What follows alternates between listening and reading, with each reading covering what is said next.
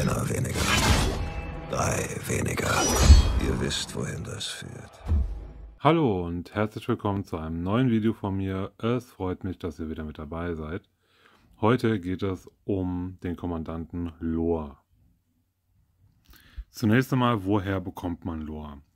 Loa erhält man durch diesen äh, Junior Loa, den man spawnen kann. Ja, wir, wir sehen hier einmal die Skulptur von ihm, ne, die ihr bekommen könnt. Es gibt aber nicht nur diesen äh, Junior Lore, sondern auch den hier, furchtloser Lore.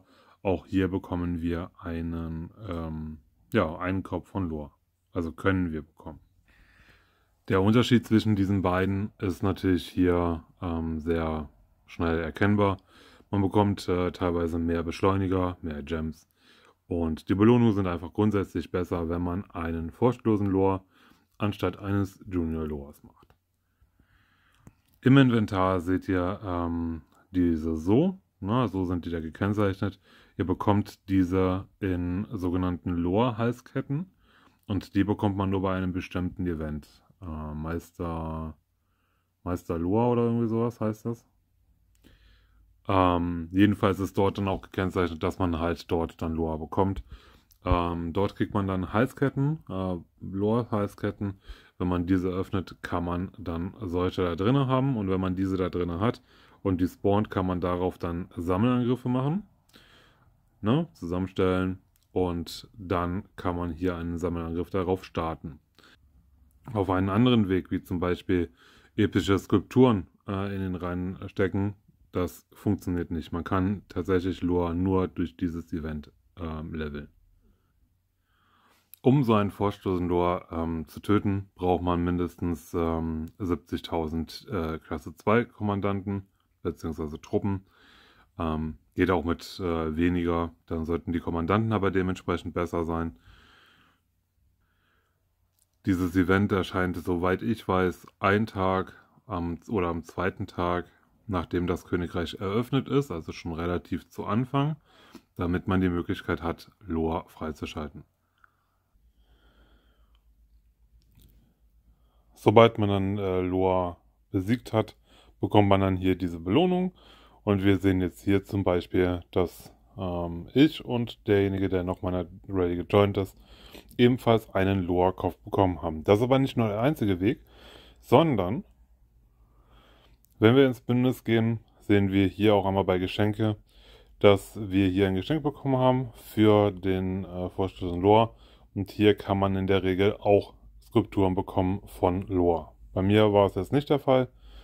Ähm, ne, es ist aber auch immer eine Sache des Glücks. Schauen wir uns Lore einmal ein bisschen besser genauer an. Wir haben hier drei ähm, Talentbäume. Einmal Eingliederung, Friedenserhalt und Unterstützung. Und dann kann ich euch auch einmal direkt zeigen, welchen Skillbaum ich euch hier empfehle von Loa. Das ist einmal dieser hier.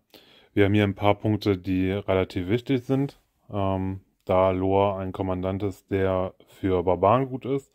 Ihr solltet Loa niemals auf dem Feld gegen Feinde verwenden, gegen reale Feinde, nur maximal gegen Barbaren.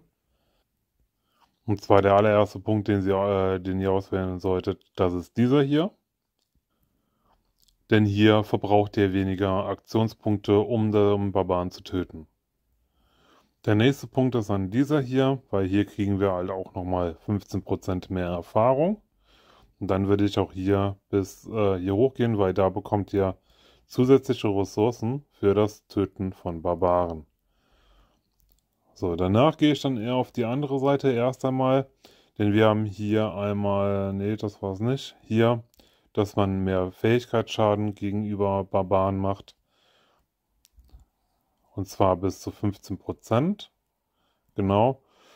Und danach gehe ich dann hier hin und gebe es hier hoch. Denn hier macht man ebenfalls nochmal ähm, erhöht äh, Schaden um 5%. Also hier macht man nochmal mehr Schaden verbessert die Heilungswirkung auf Truppen um 5%. Also das ist definitiv ein, äh, ein weiterer guter Punkt, den man halt nutzen kann.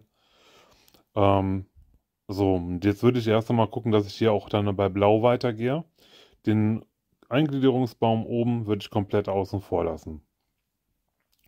Man kann natürlich auch gucken, dass man den Baum hier von Loa fertig macht. Ich bin aber ähm, Fan von der Wuterzeugung.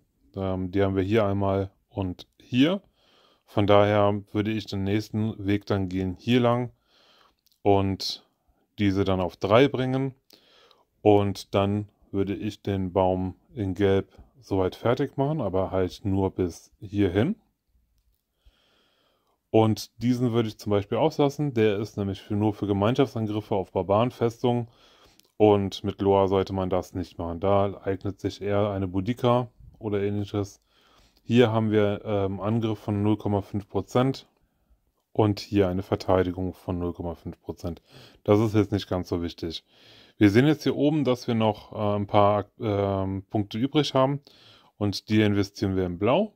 Und zwar gehen wir hier hin, dann nehmen wir noch das mit, was die Heilung verbessert, denn Loa heilt auch. Wir können uns das gleich in den Fähigkeiten einmal angucken. Und dann nehmen wir die letzten drei, dass er verringerten Fähigkeitsschaden bekommt. Und das ist dann letzten Endes der perfekte Baum für Lore. Schauen wir uns die Fähigkeiten der Kommandanten an, äh, des Kommandanten Lore an. Fügt einem Ziel Direktschaden zu Schadensfaktor 450 und heilt einige der von diesem Kommandanten angeführten Truppen leicht verwundete Einheiten auf 450. Das heißt, jedes Mal, wenn er seine aktive Fähigkeit einsetzt, heilt er Truppen und haut äh, 450 Schaden raus. Und das ist egal gegen was, ob jetzt gegen neutrale Einheiten, ähm, also Barbaren oder gegen reale Gegner. Es ist aber vom Fähigkeitsschaden her ist das ziemlich, ziemlich wenig. Schauen wir uns die zweite Fähigkeit an. Und hier haben wir dann schon die erste Fähigkeit halt für Barbaren, äh, um Barbaren zu töten. Und zwar ein äh, Schadensbonus von 35%. Die dritte Fähigkeit gibt euch 70% mehr XP. Na, also Loa ist ein sehr, sehr guter Kommandant, um andere Kommandanten zu leveln. Wenn ihr hier diese Fähigkeit zum Beispiel auf 5 habt, dann könnt ihr gut Loa nutzen, um Barbaren zu töten. Und ihr packt dann einfach als zweiten Kommandanten einen anderen Kommandanten hin, den ihr leveln wollt. Und der bekommt dann einfach 70% mehr XP. Bei der vierten Fähigkeit, Lor heilt einen Teil der leicht verletzten Einheiten, nachdem er den Kampf verlässt.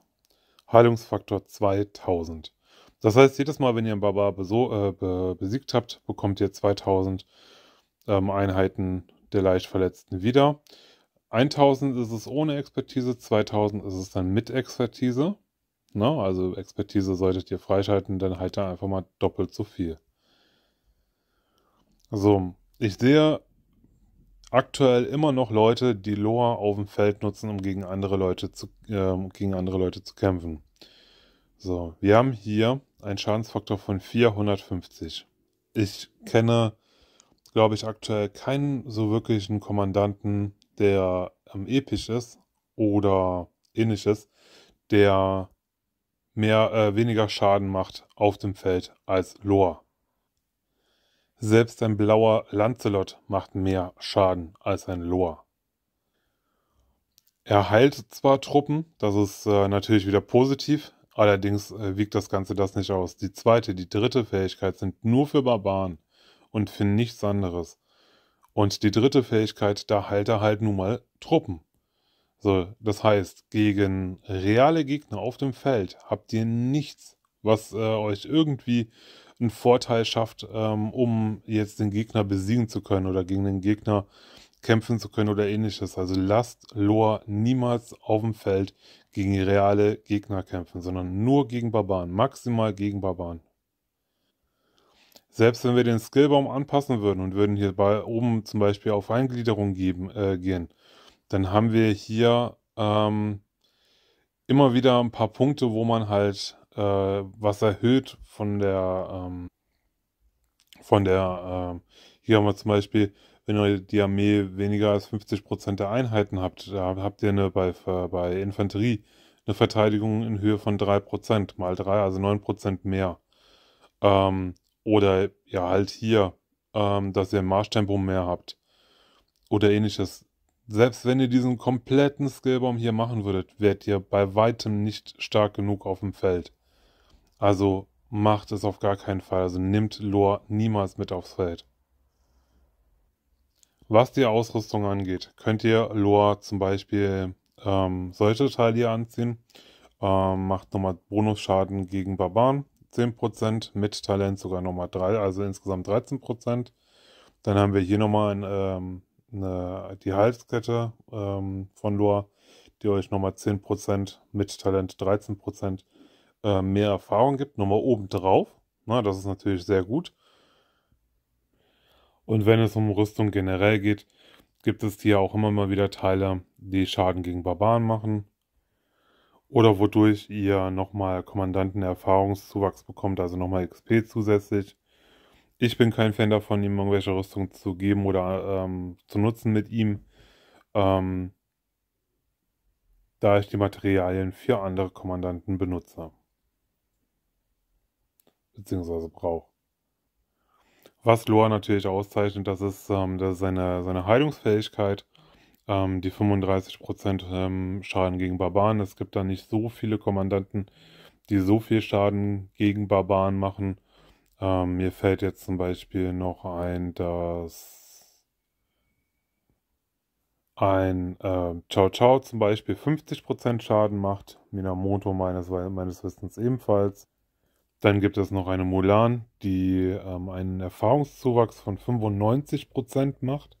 Also nochmal mehr wie Loa selber. Aber das sind halt goldene Kommandanten. Wir haben hier Boudica, die zum Beispiel einen Bonusschaden von 25% macht gegen Barbaren.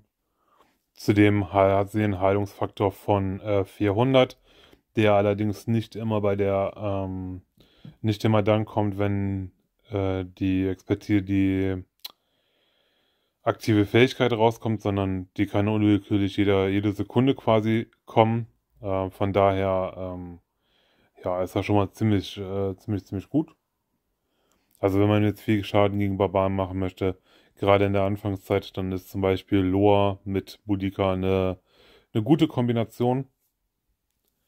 Ein Belisarius zum Beispiel macht ebenfalls 35% äh, Schaden gegen Barbaren.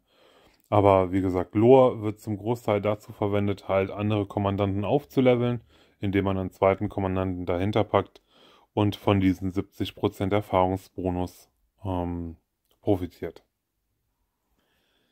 Ich hoffe, euch hat das Video zu Loa gefallen. Ähm, falls ihr Fragen haben solltet, könnt ihr das gerne in die Kommentare schreiben. Ich bedanke mich fürs Zuschauen und wir sehen uns beim nächsten Mal wieder. Bis dahin, macht's gut.